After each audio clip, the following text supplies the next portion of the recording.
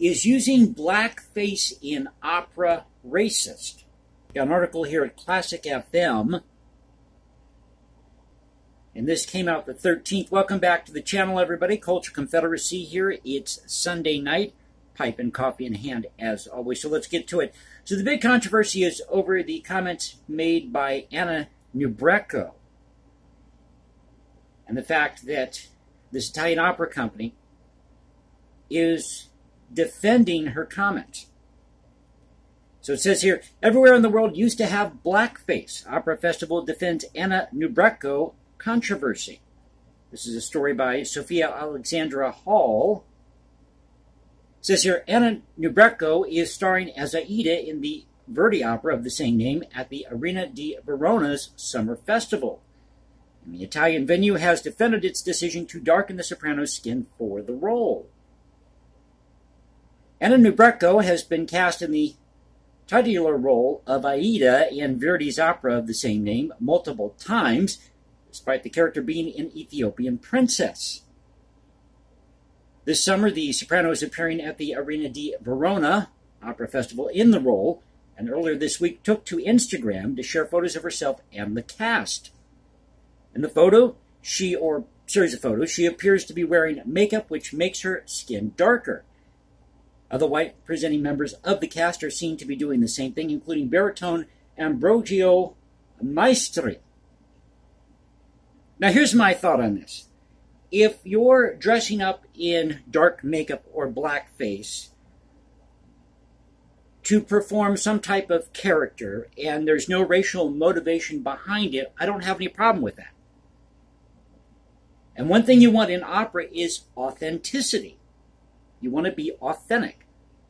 And Aida is, as it says here, an Ethiopian princess. So it would not make any sense to have somebody play a white Aida. Now, why they couldn't find somebody who was black to play the part, I don't know.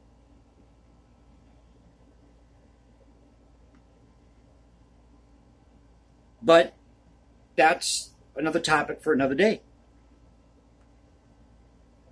Netrebko, a white Russian soprano, has previously defended her casting in the role. In 2019, when she posted a picture of herself as Aida on Instagram, a fan asked whether the blackface was necessary, to which Netrebko replied, quote, I am not going to be white Aida. And blackface and black body for Ethiopian princesses for Verdi, greatest opera. Yes.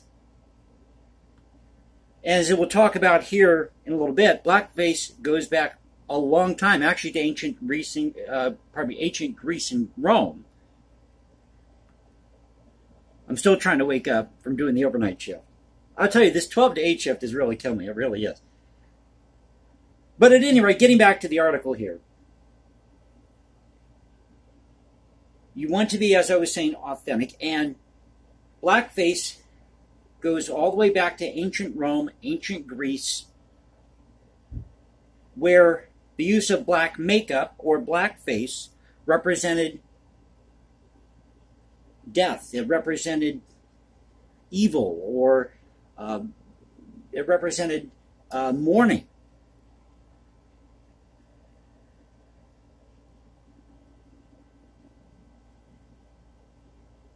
Now, in 2019, soprano Tamara Wilson became the first soprano in 106 years to openly criticize the blackface worn by Aida in the Arena di Verona, was playing the role herself. On the second night of the show, the soprano still wore skin darkening makeup, though lighter than originally intended by the production. Wilson did not perform in the third performance and was instead replaced by soprano Maria Jose Siri, who did wear blackface. So is Siri, is she Hispanic? She'd have darker skin. So somebody with darker skin is putting on black makeup to play the part of Aida, who's an Ethiopian princess? And I'll say it again. If you're putting on some type of black makeup to play a particular role and there's no racial motivation behind it, I don't think there's a problem with that. In response to the criticism over the 2022 production, Arena di Verona Opera Festival told Opera Wire, quote, the point is that as long as we do a historical Aida in the arena, it is very difficult for us to change something. Well, change is good. And they've got a picture here of Anna Netrebko dressed up as Aida. It's very well done. In fact, I have never seen a picture of Anna Netrebko. So if I saw this, even with the makeup, I would assume that she happens to be African American. She looks African American in this photo. Or, or Afri- of African descent, so used to saying African American living in the United States. But she's in this really nice, fancy costume that's authentic to the time period.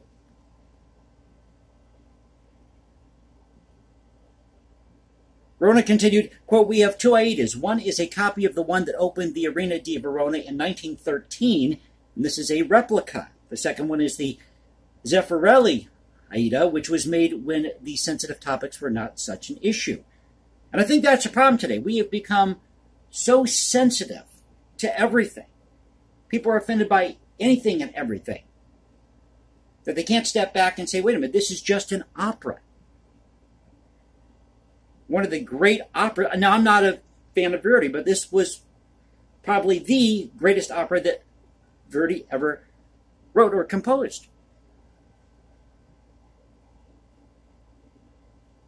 So the second one is the Zeffirelli Aida, which was made when these sensitive topics were not such an issue. Everywhere in the world used to have what you call blackface, as I mentioned. So as long as we have a historical production, it is very hard to change them because it means changing something that was designed that way. Somehow the Arena di Verona is a theatrical museum. We don't have new productions every year. We want our history to feel like it's living. Exactly. Great music, great art, a book, a novel shouldn't just be left on a shelf somewhere to gather dust.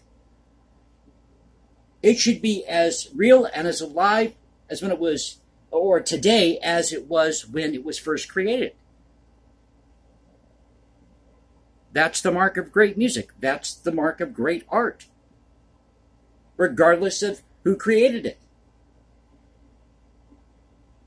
The company added, quote, We decided to have a philological approach, and as long as we don't have a new production, we follow that philological approach. We must respect the historical truth. The company also noted we follow what was made in 1913 and many decades ago when Zeffirelli staged his first Aida. We are following what they decided to do in that era. Our season is like a historical museum of the theatrical taste during the last century. This was the rage during the last century. Exoticism, something that spilled over from the latter part of the 19th century. Remember Saint-Saëns? Samson and Delilah?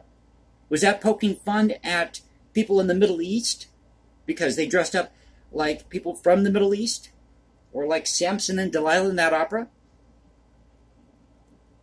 Because you got to remember, back in the day, there weren't movie theaters. There wasn't television. There wasn't even radio. Latter part of the 19th century. Well, came out in the 1890s. But everything we have now, they didn't have in those days. So when you went to the theater, it was a once in a lifetime experience. You wanted to be entertained, you wanted to feel real.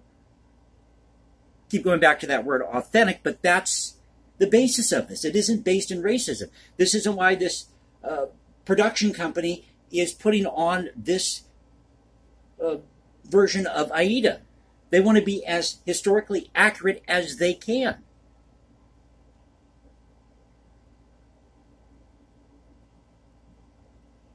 Opera performers across the world were quick to comment on their disappointment with the decision from the Italian venue.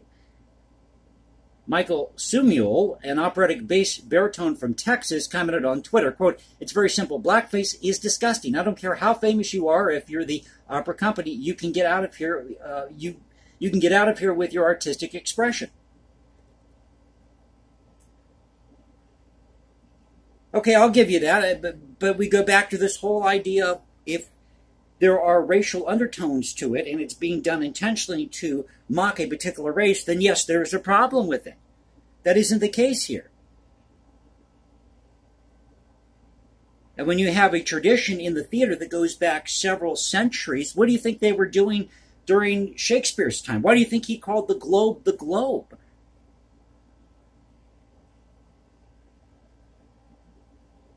And you had men dressing up as women because women really weren't allowed to be in the theater at that time. So were men dressing up as women in these different female roles? Were they making fun of women? Were they degrading women? No, a lot of times they were playing these heroine type characters. Joan of Arc. Can't remember if Joan of Arc was from around the same time as Shakespeare or not, but, but you get the point. And in the 16th century, 17th century more specifically, that was the study, a century that studied expression, and uh, that was the century of theater. Mezzo soprano Jamie Barton also shared her views on the social media platform and said, quote, It's been a long day and I'm hella tired, but I'm, mo- I'm not too tired to say that blackface is and always was disgustingly wrong. Why? And there's three uh, whys in that, by the way. Why is this even a question? Double question mark. How is this not obvious? Question mark exclamation point. The singer then tagged both Netrebko and Verona, asking them to do better. It's seriously not that hard. In 2020, when the Metropolitan Opera published its statement in support of Black Lives Matter, here you go, folks. Social media was quick to ask whether the opera company would be removing its production of Aida from the Met website, which starred Netrebko in blackface. And here's the problem they connect what happened in 2020 with, let's say, George Floyd or Breonna Taylor with an opera that was written over 100 some odd years ago by Giuseppe Verdi. The 19th century was a completely different time, and I can guarantee you there were a lot of bad portrayals of the Irish, a lot of bad portrayals of the Polish people, of the Czechs. Did you know that the, uh, the, the, the Czechs were seen as a minority? They were looked down upon. They didn't even take their orchestras or their, their operas seriously until Smetana came around with The Bartered Bride and he produced this magnificent cycle of six symphonic poems called Má vlast, My Country. That's when people started taking notice. Dvorak did the same thing. People thought he couldn't write a piano concerto, and he did. They didn't think that Dvorak could write a symphony, and he did. He also wrote the New World Symphony when he was in New York City. And his cello concerto was written in the United States.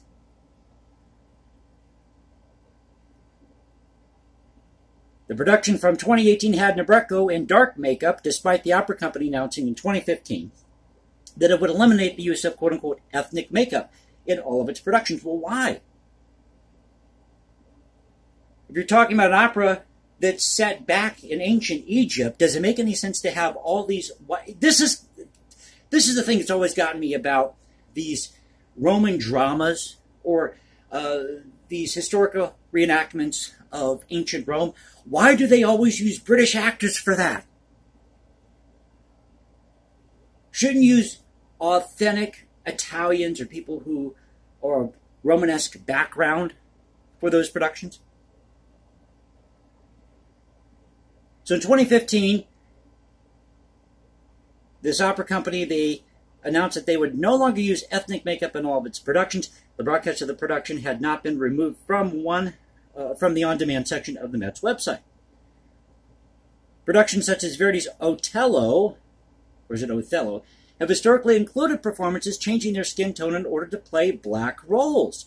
Puccini's Madame Butterfly has also had performers in yellow face portraying Asian characters, as did Arthur Sullivan, uh, Gilbert and Sullivan's Mikado, which was a huge success, a huge hit. And if you've never seen the Mikado, it's a lot of fun. It's not making fun of these people. It's a, a hilarious story. And the music is really, really good. In fact, you can find uh, there's this Canadian production here on YouTube that was really well done. But it's a really funny story and it's a lot of fun. And we forget that that's the reason we create great art and great music is to have fun, isn't it? Create debate. Various musicians have raised awareness of why blackface and yellowface is outdated and offensive, and some opera companies have moved to banning the practice. For some opera houses, this means casting performers from any ethnicity and roles, but without changing their skin tone. In others, this means casting ethnically appropriate singers in the roles. In the face of Netrebko's casting and the surfacing of her photos earlier this week, many musicians shared their disappointment that the practice of blackface is still occurring in 2022. One soprano shared Netrebko's Instagram post on Twitter and said, quote, In case you thought the opera world has made any sort of tangible progress, Ari Blackface, the industry's most famous soprano, posted this nine hours ago from a recent Aida. But Aida is an Ethiopian character. If Anna Netrebko is the best person to play that role, then she deserves that role. Whether she's white, black, Hispanic, Asian, it doesn't matter. Doesn't matter. So you find an Asian opera singer that's really, really good, have them play the part of Aida and be authentic about it. Another soprano also put, I've never seen an opera company obsess about ethnic and historical accuracy in any opera except Aida. Why is that? What would happen to the opera if you didn't blackface? What would happen is nothing. No impact on the production, no impact on the storytelling, none, zero. Okay, I'll give you that. But if this opera, in other words, what's happening here is this opera company is giving a big middle finger to all of the SJW types out there, and they're saying, no, we're going to stick with what was originally done at the time period. And you have to understand that that's how things were done in those in those times. That's how it was done because that's all they had available. They didn't have the transportation that we have today. They were working on that. I mean, you have these ocean liners but how many days did it take to cross from one continent to another? How long did it take to take? Uh, how long does it take to take a train? I mean, I'm going to have to take a train down to Georgia probably pretty soon, and it takes two and a half days just to get there from where I'm at here, and I have to take a bus to get down to Omaha to do it. So there you go, folks. Twitter user added, "Just book more black singers, you dinosaurs." Hey, and we go back to this idea that if Anna Netrebko was the best soprano or, or the best person for that role, and she beat out everybody, then that's who gets the role because she's the best. It doesn't matter whether she's white, Russian, Asian, German, Irish, American, Chinese, Japanese. I don't care what her skin color is, it doesn't matter. If she's the best person for the role, that's the person who should get the role in that opera in Verdi's Aida. The Arena di Verona added in their response that, quote, when we discuss modern things, we have to remember that we are using an old historical production. Next year, we will have a new production of Aida. So before I get too long in the video, go check out this article at Classic FM about this controversy over Anna Netrebko refusing to or defending herself in playing a role of Aida wearing black makeup, dark makeup, or blackface. Article by Sophia Alexandra Hall but it's really refreshing to see that you have an opera company out there that's saying, no, we're going to be authentic to the time period because that's the way that things were done at that particular time. If there's no racial motivation behind it, I'll say this one last time, then I don't have a problem with them setting uh, setting this in that time period and having somebody dress up in dark makeup to represent a character that is from Ethiopia, Egypt, you name it. So I hope you enjoyed the video. If you did, you know what to do. You can also find me at Instagram, hashtag Jason Composes, or follow me at Twitter, Cultural Confederacy at Twitter. This is the Cultural Confederacy saying peace out, stay safe, everybody. God bless this great country, and I'll catch you next time.